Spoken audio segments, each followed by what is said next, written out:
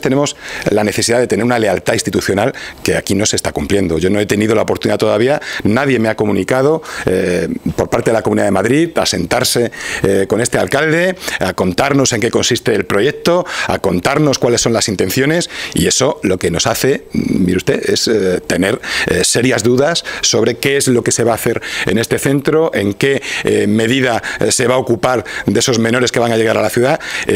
eso añadido a que no deja de ser un espacio que consideramos cedido por el Ayuntamiento de Fuenlabrada a, la Comunidad de Madrid para una, una serie de eh, actuaciones en concreto, muy vinculadas al tema de medio ambiente, al tema de la formación y nos encontramos con que hemos tenido que ejercer.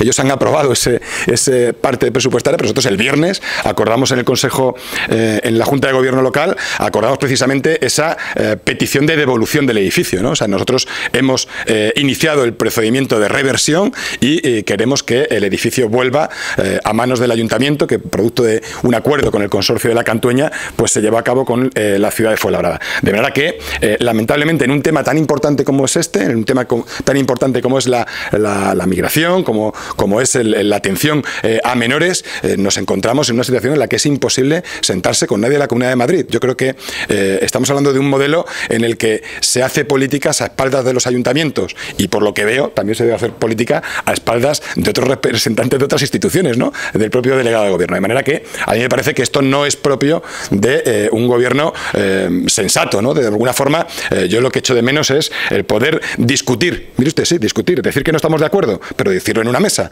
Es que estamos eh, a estas alturas del proyecto, que dice usted que van a poner en marcha inmediatamente, estamos a estas alturas, eh, estamos sin tener conocimiento de eh, detalles que creo que son muy importantes para la Administración, para el Ayuntamiento de Fuenlabrada. De manera que seguiremos, en, desde luego, seguiremos dando la batalla, mostrando nuestro desacuerdo. En el ámbito legal, les recuerdo que han admitido a trámite esa adjudicación por vía de emergencia del contrato de rehabilitación del edificio.